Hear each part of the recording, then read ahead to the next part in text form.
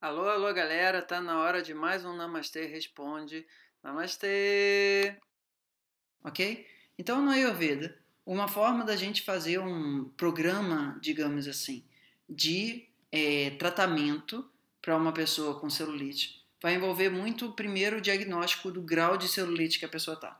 O nível 1 é um nível onde você só apertando a pele você consegue achar a celulite. O nível 2, dependendo da luz, assim, você meio que consegue identificar ela, mas ela meio que desaparece e volta, certo? O nível 3, você, uh, ela aparece em pé, mas não aparece deitada, desculpa, ela quando você está em pé não aparece, mas deitada aparece, o nível 4, mesmo em pé, você aparece, que é o que a mulherada normalmente tem mais pavor, ok? Então, são esses quatro níveis. Em todos eles, o fígado está intoxicado. Então, em algum grau, o tratamento do fígado vai acontecer em todos eles, mas principalmente no nível 3 e 4, onde, digamos, ele aparece por si só. Os tratamentos externos vão ter mais uh, importância. Só os internos, no geral, não vão ter essa capacidade. Porque veja bem, pessoal, a celulite deforma a estrutura de organização do tecido adiposo, certo? E para você, digamos, desdeformar, você vai ter que tipo fazer algumas coisas assim não muito agradáveis. Uh, e aí vocês podem dar uma olhada naquilo que eu postei lá no evento, que é o, os procedimentos de Uduartana e Garshana, que são dois procedimentos do Ayurveda para tratamento externo de Kapha. Mas antes disso, vamos começar com a parte da alimentação. Num programa de emagrecimento, o nosso principal objetivo é restaurar o acne da pessoa, fazer com que ela aprenda a comer só quando tem fome e principalmente dar tempo para desintoxicar o fígado. No geral, via de regra, eu faço alguma combinação de cúrcuma, cominho e outras ervas, dependendo da pessoa, para ficar fazendo um processo de desintoxicação de manhã. De manhã, se é mais pita, vai mais para uma coisa mais amarga, se for para uma pessoa mais cafa, vai para uma pessoa mais picante, etc. e tal. E a pessoa com isso vai fazendo uma limpeza em algum grau do fígado em restabelecer capacidade do metabolismo intermediário, que é dos butagnes, que é essa parte que, como eu estava falando no vídeo anterior, é a, o processo de alfândega do país, corpo daquela pessoa. Então, um primeiro aspecto para você cuidar da celulite, independente se é nível 1, 2, 3 ou 4, é você ter uma alimentação onde você jogue a favor do teu acne. Isso é um. Dois é ter uma alimentação mais anti-CAF. O que, que significa? Você agora só está comendo só quando está com fome, você está tendo mais consciência do que, que é, é a importância da evacuação, etc. Você está ah, fazendo algum tipo de pranayama, etc. Basta, kapalabhati. Ah, em agosto a gente vai ter um Jai Namastê, é, dia 5 e 6, sobre CAFA também. Então, quem está assistindo já está informado. Um, são poucas vacas. É, então, o metabolismo, o café da manhã é uma parte muito importante na alimentação anticafa. O horário da noite é uma alimentação muito importante anticafa. Mas o horário da tarde é um horário que a gente faz o Ayurveda feliz e a pessoa continua a sobreviver e feliz e contente, certo?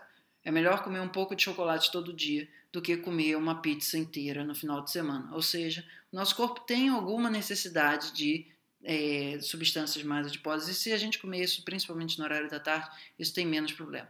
Então, é claro que isso depende muito de cada pessoa, depende qual é o lugar que a pessoa está morando, etc. Mas um é cuidar do acne, cuidar do metabolismo como um todo. Dois é ter uma alimentação mais anticafa.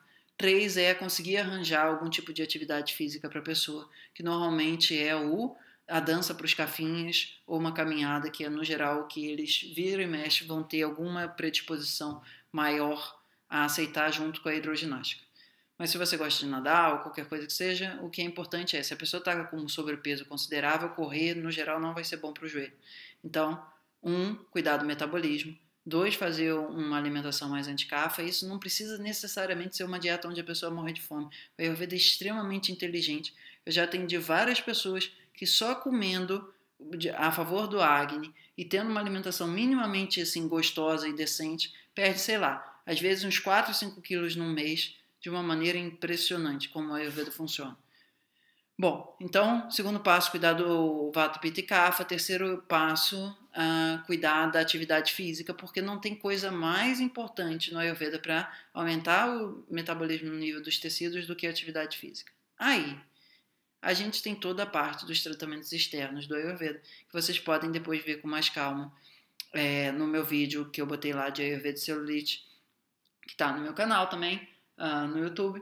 Uh, mas basicamente a ideia é o seguinte: na Índia é trífala, aqui no Brasil a gente no geral faz uma mistura de ou café, ou farinha de coco de babaçu, ou cálamo aromático, aí tem algumas variações, mas basicamente a gente vai esfregar a pessoa e de alguma forma dar uns beliscões assim com muito amor e carinho é, para fazer com que esse tecido, principalmente nos níveis 3 e 4, ele possa ser, digamos assim, destruído, aquela desorganização que foi criada, para que ele possa ser recriado. No geral, ah, se a pessoa tiver mais disponibilidade, puder fazer um processo de desintoxicação do fígado mais profundo, isso vai ser benéfico no médio prazo. Mas no curto prazo, no geral, as pessoas estão procurando um resultado mais evidente, assim, palpável. Então, Algumas sessões de uh, tratamento externo com o que a gente chama de Oduartana e Garshana é, ajudam a pessoa a se sentir mais confiante do que ela vai conseguir, porque no geral o principal desafio de um programa de emagrecimento ou de cuidado assim anti-cafa é a autoestima da pessoa, porque a autoestima está relacionada ao Manipura Chakra. E o Manipura Chakra está relacionado ao Marte, a nossa capacidade de ação, a nossa capacidade de coragem, a nossa capacidade de determinação. E quando essas coisas estão afogadas por plasma e por tecido adiposo, a pessoa fica sem confiança de que ela vai conseguir fazer. Então, no geral, digamos assim, dar uma polida externa ajuda a pessoa a é, ter mais uh, ânimo e crença de que aquela vigésima quinta milhão de dieta e programa de tratamento e de emagrecimento, ela vai ter algum resultado.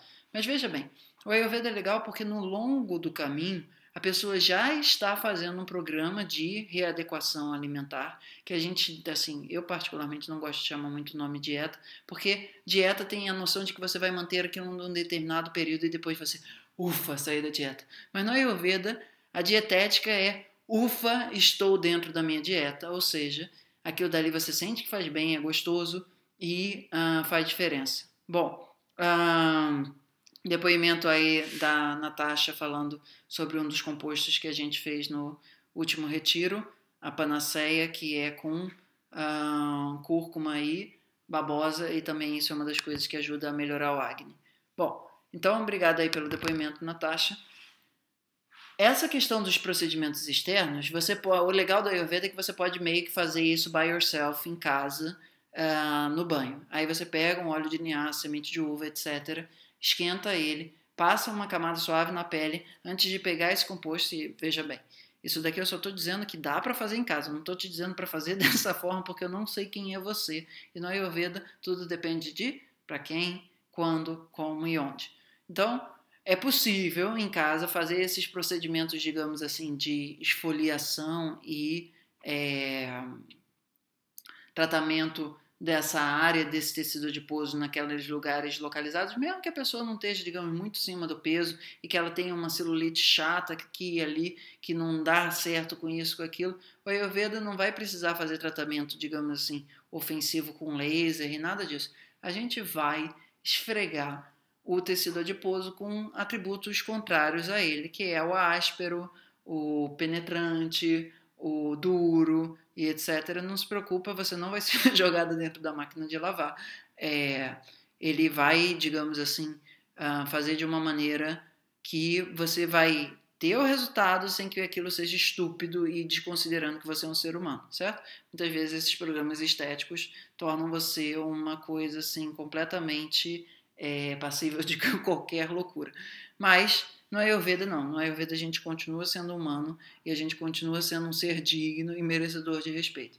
Ainda que vá ser estimulado a fazer algum grau de atividade física, etc. Se a pessoa tiver abertura para fazer prática de yoga, além de saudação do sol, vai ter algumas coisas relacionadas a yoga para kafa. Quem quiser assistir os meus vídeos lá no YouTube, tem uma playlist que é Yoga e Ayurveda, que é justamente a explicação um pouco que, que a gente olha o Ayurveda como mais pravata, pita ou kapha e uh, funciona.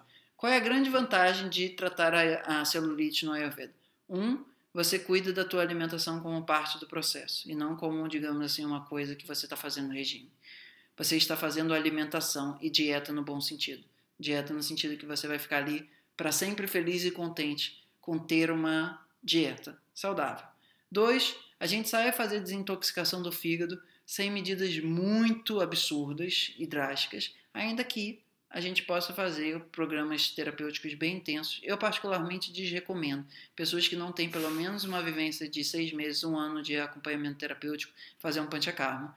Porque, no geral, as pessoas gastam uma grana muito grande e depois ficam decepcionadas com os pós-resultados, onde ela não tinha a orientação apropriada e o costume, a disciplina e, digamos assim, a vontade de seguir uma rotina mais saudável a ela, nesse sentido ayurvédica.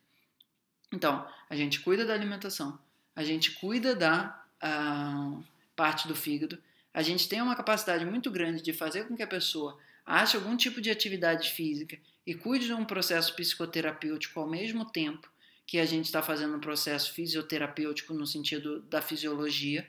Uh, e uh, a gente também tem tratamentos externos e relativamente baratos e disponíveis para você continuar fazendo na tua casa, você não fica dependente do creme uma fortuna, não sei o que e tal.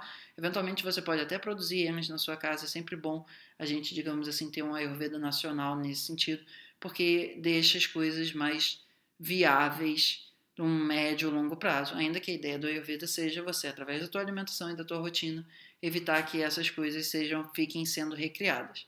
Porque o grande, digamos assim, promotor atual do Ayurveda, da, celulite no nosso mundo moderno é o, a comida junk food, a comida fast food.